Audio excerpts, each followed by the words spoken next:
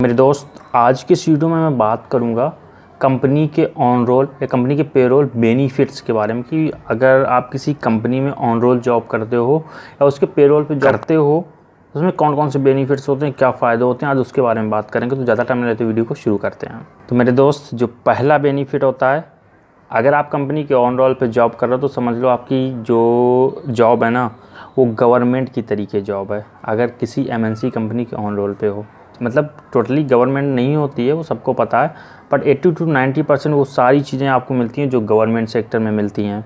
For example अगर कोई person है, वो अगर तीस हज़ार पे जॉब कर रहा है, यानी कि उसकी सैलरी तीस हज़ार है और किसी थर्ड पार्टी पे है और आपकी सैलरी बीस हज़ार है, आप कंपनी के ऑन रोल पे हो तो पता है आप सैलरी कम से कम मंथली का पैंतीस हज़ार उठाओगे।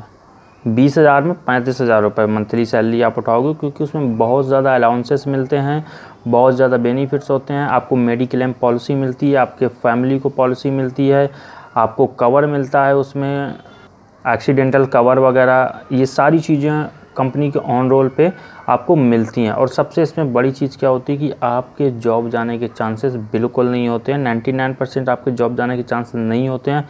चाहे उनका प्रोजेक्ट ख़त्म हो जाए कंपनी डूब जाए कुछ भी हो जाए आप किसी कंपनी में जाते हो आपके ऑफ़र लेटर में बॉन्ड पे लिखा होता है कि अगर कंपनी ख़त्म हो गई प्रोजेक्ट ख़त्म हो गया तो आप दू, आपको दूसरे प्रोजेक्ट पे मूव किया जाएगा। या फिर आपको तीन महीने तक बिठा के सैलरी दी जाएगी। कम एम एन सी कंपनी की ऑन रोल की पॉलिसी है कि आपको तीन महीने तक आपको सैलरी बिठा के दी जाएगी एंड इसके आगे भी होता है। इसके बाद तीन महीने के बाद आप जॉब से नहीं निकाले जाओगे, आप उस कंपनी के एम्प्लॉय रहोगे बट आपकी सैलरी नहीं आएगी, यानी कि टोटल जो होता है वो आपके पास छः महीने का चांस देती है या छः महीने का चांस आपके पास होता है तो ये एक सबसे बड़ा बेनिफिट होता है कि आपके जॉब जाने के चांसेस बिल्कुल नहीं होते हैं। वो ज़ाहिर सी बात है, आप किसी मैनेजर को कुछ बोल दोगे कि ये तोड़ा फोड़ी कर दोगे तो उस केस में जॉब जाती है, आपके यहाँ से गलती नहीं होनी चाहिए, बाकी कंपनी डूबती है प्रोजेक्ट ख़त्म होता है, कुछ भी होता है, आपकी सैलरी तीन महीने तक आपके अकाउंट में क्रेडिट होती रहेगी। वो चाहे आप किसी भी सैलरी पे काम कर रहे हो, पंद्रह, बीस, पच्चीस, तीस, पचास, एक लाख, किसी भी सैलरी पे आप जॉब कर रहे हो आपके अकाउंट में वो क्रेडिट होता रहता है। और इसमें अलाउंसेस वगैरह कुछ मतलब ज़्यादा मिलते हैं, जैसे कि फॉर एग्जांपल ज़्यादातर एम कंपनी की अगर बात करूँ आईटी सेक्टर में तो रोटेशनल शिफ्ट में आपको मिलती हैं ट्वेंटी फोर इंटू सेवन में। अब इसमें जो जो मिनिमम अलाउंसेस होता है, जो कम से कम कंपनी देती है, वो नाइट शिफ्ट का आपका चार सौ होता है। इवनिंग शिफ्ट का 300 होता है। इवनिंग इन सेंस कि आप आ, अगर दो बजे के बाद ज्वाइन करते हो या दो बजे के बाद ऑफ़िस जाते हो तो वो इवनिंग शिफ्ट में आता है और मॉर्निंग शिफ्ट यानी कि आप नौ बजे के पहले जाते हो तो वो मॉर्निंग शिफ्ट में आता है। यानी कि जनरल शिफ्ट जो होती है वो दस से कहीं छः होती है कहीं ग्यारह से सात होती है। इस तरीके से मैं सिक्स डेज़ वर्किंग की बात कर रहा हूँ क्योंकि अगर आपको फाइव डेज़ वर्किंग है तो आप एक दिन में एक घंटा ज़्यादा करना पड़ता है यानी कि नौ घंटे की शिफ्ट होती है। अगर सिक्स डेज़ में तो आठ घंटे की शिफ्ट होती है। तो इस तरीके से कुछ होता है तो वो मॉर्निंग शिफ्ट में आपको दो सौ अलाउंस मिलता है इवनिंग में तीन सौ नाइट का चार सौ। अब इस हिसाब से आप कैलकुलेट कर सकते हो कि मंथली का कितना अलाउंसेस बनता है। इसके बाद और भी उसमें सारी चीज़ें होती हैं रेंट अलाउंसेस वगैरह भी आपको मिलते हैं। मतलब ये कई कंपनीज़ देती हैं, कई कंपनीज़ नहीं देती हैं, लेकिन वो रेंट अलाउंसेस होते हैं, वो आपको अलग से मिलते हैं।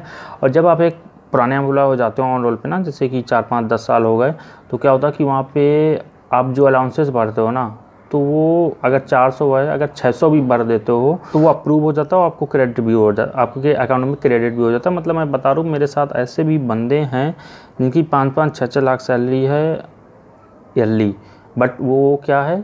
अलाउंसेस वगैरह सारी चीज़ें मिला के ना वो ईयरली आठ से दस लाख का पैकेज उठाते हैं। अगर उनकी टोटल काउंट करो ना, कितना वो लोग कंपनी से ले रहे हैं तो कम से कम नौ से दस लाख रुपए उनका ईयरली बनता है। तो इतने ज़्यादा बेनिफिट्स होते हैं आपको कंपनी ऑन रोल के। तभी मैं आपको बोलता हूँ कि ट्राई करो कंपनी ऑन रोल में। अगर नहीं मिलता तो थर्ड पार्टी ज्वाइन करो, उसके बाद कोशिश करो कि मुझे कंपनी ऑन रोल कैसे मिले। तो बहुत सारी इसमें बेनिफिट और फैसिलिटीज़ होती हैं आपके ऑन रोल होने पर।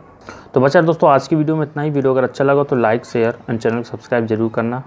इस पर बहुत मस्त वीडियोज़ आती रहती हैं, बस जनरल इन्फॉर्मेशन के बारे में। मेरा नाम है शुभम, मैं मिलता हूँ अपने नेक्स्ट वीडियो में। Tell have a great moment and don't forget to like share and subscribe thank you so much for coming year जय हिंद, जय भारत एंड बी सेफ़